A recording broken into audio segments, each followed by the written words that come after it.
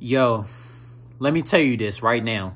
This is a lot of problem with a lot of biological families, right? A lot of biological families on planet Earth with these humanoids.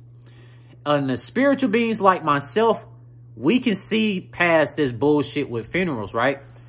You see, funerals, literally funerals, is not supposed to be hold for beings that's ascend to the next lifetime. You see humanoids and animals, right? Any life form of flesh isn't supposed to be in caskets. With that being said, let's get down to the main topic. Let's get down to the main topic. You feel me? So we need to normalize when it comes to biological families.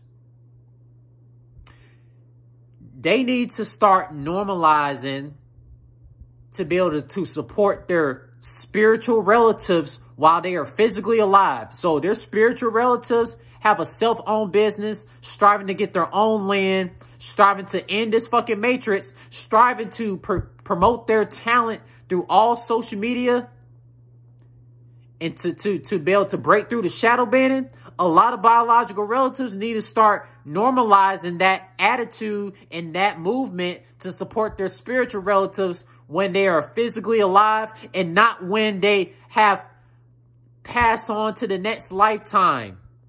Because this is a problem with a lot of biological families with the humanoid aliens on planet Earth. You feel me? They don't want to support the spiritual relative until that spiritual relative literally passes away, ascending to the next lifetime. Don't wait till that spiritual being ascends to the next lifetime for you to start showing love and support. The spiritual being don't even ask for a funeral. The spiritual beings that be that that be ascended to the next lifetime don't want to be in caskets. Cause look at me. I damn sure don't want to be in a goddamn casket. It ain't good for my avatar. This this melanated copper skinned alien avatar of mine don't belong in a casket. I'm supposed to be in a fucking burial pod to be a cyber elf on some Mega Man Zero type shit. You feel me? Look, no more caskets, more burial pods, no more funerals of people that never showed no goddamn love to the spiritual being that was physically alive. Like putting their all to heal the multiverse through soulful alchemy, promoting their talent, striving with their self-owned business and striving to get their own land to destroy this fucking matrix, like myself, I strive for those things. Have my own land, my self-owned business with my creations, my passion. Ain't nobody gonna fucking undermine my fucking passions. Fuck that shit.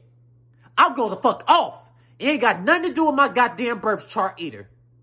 That's just spiritual beings have enough of the bullshit that that that that that that hat that's not fucking that's not fucking relevant. You know, we need to normalize supporting your spiritual beings, relatives, while they are physically here and not when they fucking ascend to the next lifetime.